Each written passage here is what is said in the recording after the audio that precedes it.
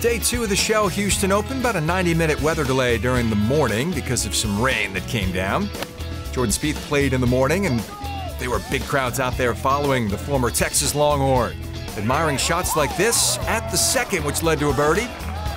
Spieth stumbled, though, to a 73. He's at minus four.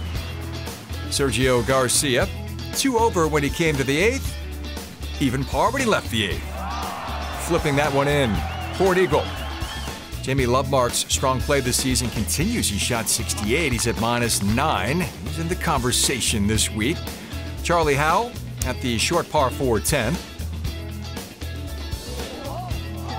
Get in there for an eagle, too.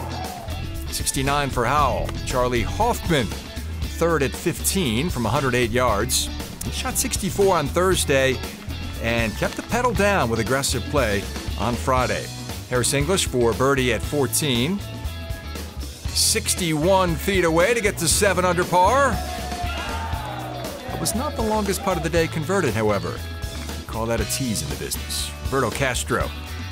Mid range birdie here at number 7. He gets to minus 9. Castro was threatening the lead at that point. Dustin Johnson, 68 feet away, over at the 9. Just looking to two putt at the par 3. Or one putt, and that got DJ to 8 under par. Phil Mickelson, second at uh, 10 here. So good at these shots. They require touch and feel, imagination. 59 yards away. That's how you do it. That got Phil to minus 3. Charley Hoffman, late birdie here to get to 11 under par. He would drop one coming in to shoot 70 and finish at minus 10. There's your air times for day three on Saturday of the show.